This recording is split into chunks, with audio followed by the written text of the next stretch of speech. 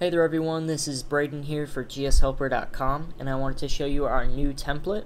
This is the Mad Cab template and this template's really cool because we've we've made kind of a 3D effect for this game. It's really neat and I'll show you in a minute. But first I just want to say that the 2013 package members get this template for free. Uh, so you members can go ahead and download this template when it's live on the site. And secondly, uh, all the art in this game is, is yours to use when you purchase or download the template.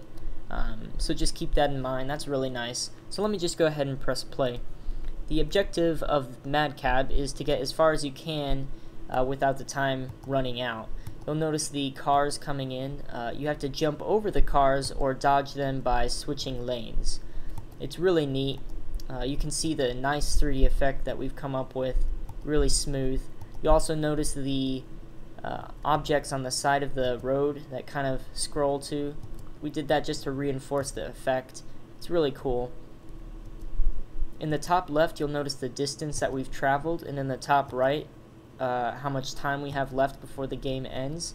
You saw there that I hit a car, so my cab stopped, just like that, and so did my distance. Um, so that's really nice. It, it's kind of hard to, to play this game and do a demonstration it's really fun though. A good uh, competitive game. Now on the device, you can switch lanes by tapping either the left or right side of the, uh, the screen. If you want to jump, you just use two fingers and you tap the screen with two fingers. It's really nice.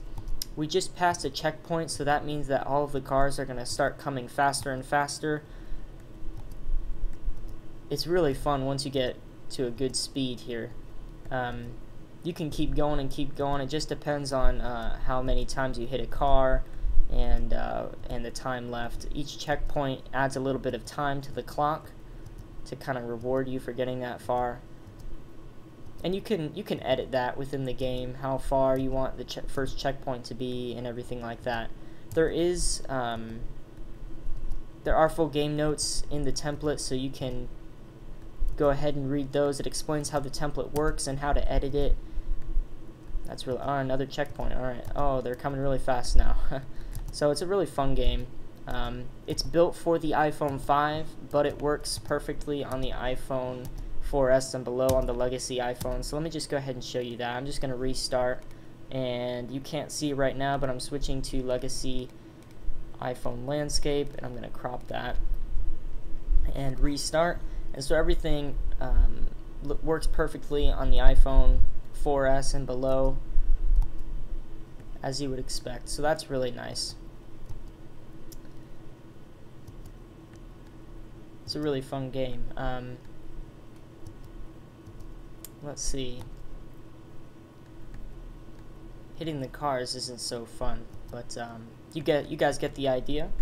Um, so this is Mad Cab. We hope you guys really enjoy it, and we can't wait to see all of the games that you push out using this template. Alright guys, we'll talk to you later.